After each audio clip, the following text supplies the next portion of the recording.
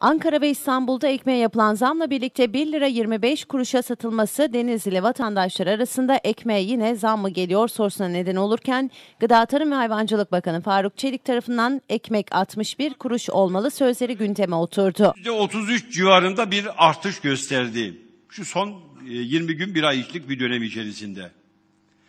Şimdi değerli e, katılımcılar, neden bu fiyat artışı bu oranda gerçekleşti diye baktığımız zaman bunu doğrulayacak bir verinin olmadığını açıkça ifade etmek istiyorum.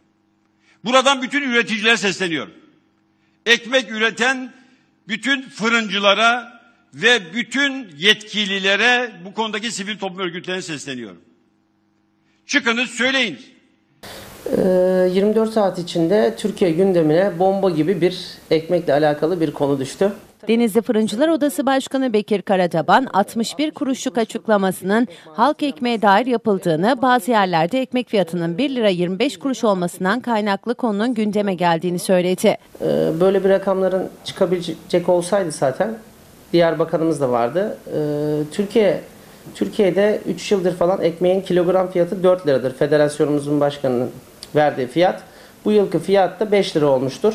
Diye bazı illerde ekmeğin 1 milyon 250 olmasıyla birlikte bu konu meydana çıkmıştır. Denizli ilimizde bugüne kadar Ege bölgesinde en ucuz ekmeği e, fiyatını e, standartla tutmaya çalıştık bugüne kadar. Daha önceki başkanlarla birlikte. Denizli'de 2-3 bin ekmek üreten fırın olduğunu hatırlatan Karadaban, 1500 bakkal bulunduğunu ve ekmek satış noktalarının yer aldığını belirterek ekmeğin vatandaşa ulaşıncaya kadar 1 liraya ulaştığını kaydetti. Ee, birkaç el değiştirdiği için fırından olduğu gibi bayiden halkın eline geçinceye kadar e, bazı bayi primleri vardır.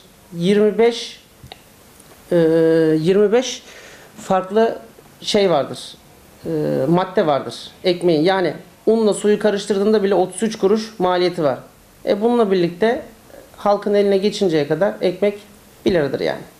Karadaban ayrıca bakanlığın incelemeye aldığı bir diğer konunun fırın sayısına sınır getirileceği ve ekmek satışı için özel ruhsata gerek duyulacağı olduğunu belirterek bu düzenlemeyle birlikte ruhsatı tüm ekmek satış noktaları sağlamak durumunda kalacak. Böylelikle merdiven altı üreticileri de ortadan kalkacak dedi. Ee, değişen yönetmekte bina altı fırınların olmayışı ve de bitişik nizam olmayışıdır. Bunu 2010 yılında e, baskılar üzerine bu kanunun gerçekleşmesine sebep olduk. İnşallah bu e, taban ve taban fiyatıyla birlikte nüfus sayısı nüfus sayısına göre fırın sayısında yurt dışında olduğu gibi bu uygulanıyor. Türkiye'de uygulanması bizi mutlu edecektir.